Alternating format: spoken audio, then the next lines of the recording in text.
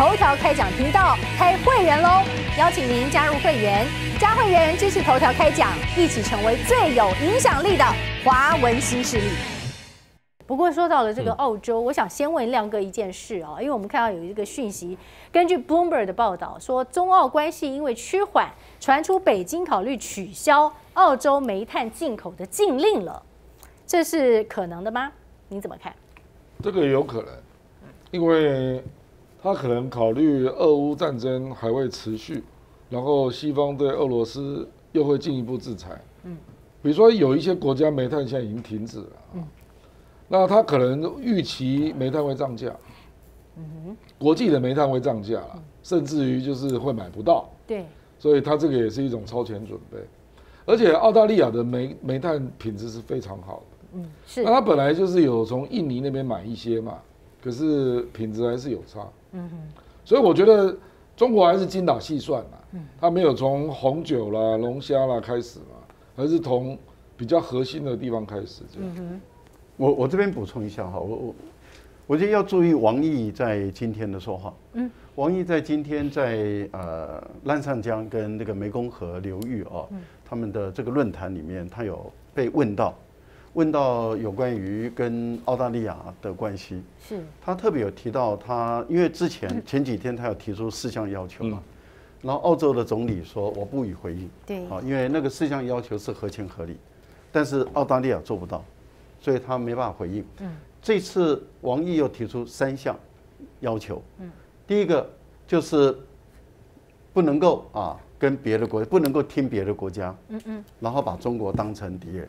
来遏制中国的发展，嗯，这意思也就是要求澳大利亚要选边站，嗯，你不能加入 QUAD，嗯，因为 QUAD 就是要遏制中国的发展，嗯，你不能加入 URCS，嗯，因为 URCS 就是央国的萨克逊组织，要遏制中国的发展，是，你不能跟日本搞这个二加二外交国防，然后再搞这个区域联防，要来遏制中国的发展，嗯，所以我觉得王毅在这一次里面有特别的，就是针针对澳大利亚再进一步喽，嗯，已经比昨前天的四项要求。更往前走一步，还有就是要相互尊重、相互对等。嗯，那这样的一个情形，你看澳大利亚，然后中王毅还说现在是关键的节点。嗯嗯，那看你怎么做。是。所以大陆这个部分里面，他们对煤炭的这个目前来讲，他们采用这个联合采购了。嗯。因为联合采购，他们在上次的波音，嗯，跟空巴已经让他们获得了这个谈判的优势。是是。也就是我我一次采购两百九十二架，把国内三大。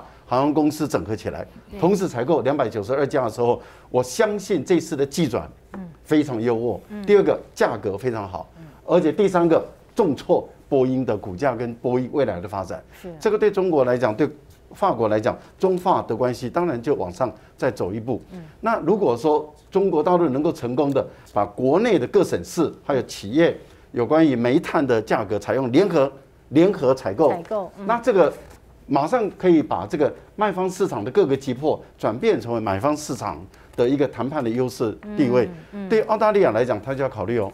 那如果中国能够用更优渥的或者更庞大的利益，跟例如说跟哪一些国家签长期的约的话，那你澳大利亚长期的失去中国这个煤炭的大客户，而中国已经拥有这个大量的煤炭的供应，是，所以澳大利亚的经济会出问题。我觉得大陆现在是已经在。加压澳大利亚，对，而且就是不断的在提高那个压力。我觉得在提高压力，在提高谈判的筹码。好好，不过这个现在当然美国也很紧张哦。这个回来我们请这个谢大使谈一谈。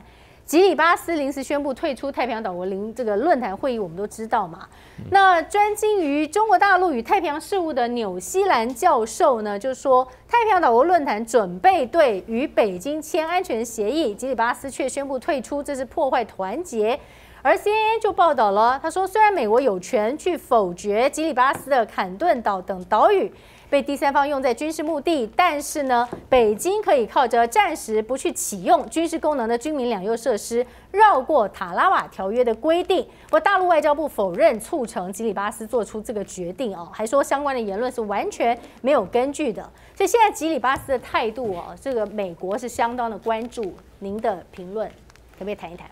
其实我觉得那个纽西兰那个教授啊，他是一个推测，比较没有根据。因为最近纽西呃澳洲的媒体都在报道这个，就吉里巴斯退出这个太平洋岛国论坛啊。对。讲的很都很清楚，退出的原因是因为他们整个这个密克罗尼西亚哈，这个这个岛群哈，事实上有五个国家是这个太平洋岛国论坛的，基本上大概都退了。嗯哼，这个 Marshall Island 去年就没参加了，那么基里巴斯今年不参加，还有一个诺鲁，这几个都退了。那有一点集体行动原因，集体行动，因为他们认为。太平洋岛国论坛对他们密克罗尼西亚这一这个区这个区域的这些国家不公平。为什么不公平？因为照太平洋岛岛国论坛，它的秘书长哈任命是由三个大岛群的人轮流的。密克罗尼西亚，你现在比如说现在你是美拉尼西亚的，或者说波利尼西亚，下一届是波利尼西亚的。做完以后就该我密克罗尼西亚了。现在轮到我们密克罗尼西亚，我们这几个国家的人出任这个岛国论坛，结果你把我跳过了，所以这些密克罗尼西亚就认为你这个是这个关纽带联系断断绝，你们对我不公平。所以今天不是这个吉里巴斯基于任何原因，基本上就是这个问题而已，就是简很简单，就是这个太平洋岛国论坛秘书长的人选的问题而已。哦，所以他们。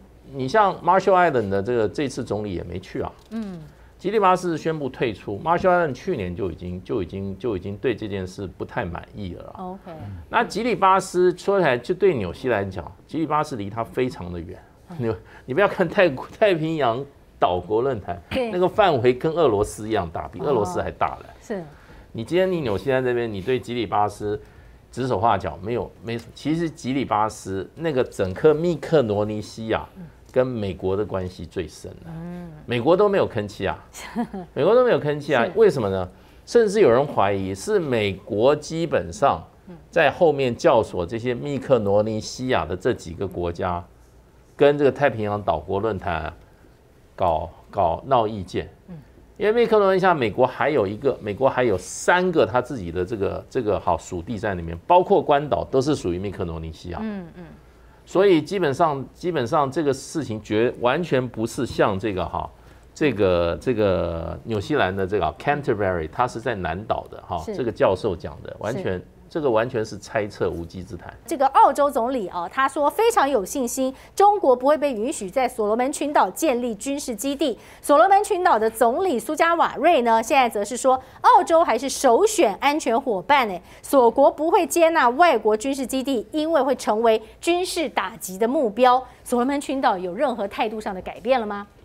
因为所罗门群岛从开始就讲啊，它这个只是一个这个，它是军事人员的互动。还有就是警务的方面互动，因为因为所罗门所罗门群岛没有军队，它只有警察。嗯，那么他去年去年底的时候那一场暴动让他损失惨重。嗯哼，那过去他也产生过很多，也有好几次暴动，因为它里面这个岛与岛之间啊，这个关系不睦。嗯，那一一这个战争起来的话，就发生暴动。是，那过去更大，那这个时候靠外力支持的只有澳纽。澳洲、纽西兰曾经长期派驻警察，在这个这个所罗门群岛维持秩序，才刚刚结束他们的任务，前两年才结束。嗯哼，那这个所以就是说，问题就变成现上一次去年十一月那个暴动。那所罗门的群岛的总统苏达尔维，他认为是区域一个大国所在幕后策动的。嗯，那那个幕后大国很多抽差都是澳，就是澳洲，就是暗指澳洲。所以，所以就苏加瓦人就说，我们跟中国建立的关系有非常重大的意义，尤其战略上的意义。他不能，他不相信澳洲、纽西，尤其是澳洲，对他没有这种哈颠覆他的这种动机。所以，他既然对澳洲已经失去信心以后啊，他当然希望把中国大陆引进。那么，这个里面最主要是来来哈做一个平衡作用的。从苏加瓦瑞的角度上来看，是做一个平衡作用。是。那并不是一定要把这个把纽把这个这个这个所罗门岛带到军事化，把它军队好，把这个军队外国军队直接带进纽到苏这个这这个这个哈所罗门群岛还不到那个地步。所以，其实艾班尼斯上台以后，他对所罗，他对澳洲在南太的态度政策，他讲过一句话，这句话其实是严重打脸这个这个 Morrison。他说，其实我们跟南太国家交往最重要要注意的一点，就是要尊重啊，是，也不是说像 Morrison 过去那个直接去干涉人家内政。所以现在纽西兰基本上他的立场就是说，南太国家有权决定他自己要交谁，他要交什么朋友。对。你澳洲、纽西兰，你没有权决定人家要要交什么朋友。这里帮你大家科普一下，有些人可能还不知道，旺旺水神微酸性电解次氯酸水与病毒细菌作用打架完之后呢，就变成了水，温和不刺激，它比酒精跟漂白水呢更环保，适合长时间多次频繁的使用。请赶快上快点购，买的时候记得输入我的推荐代码就有折扣哦。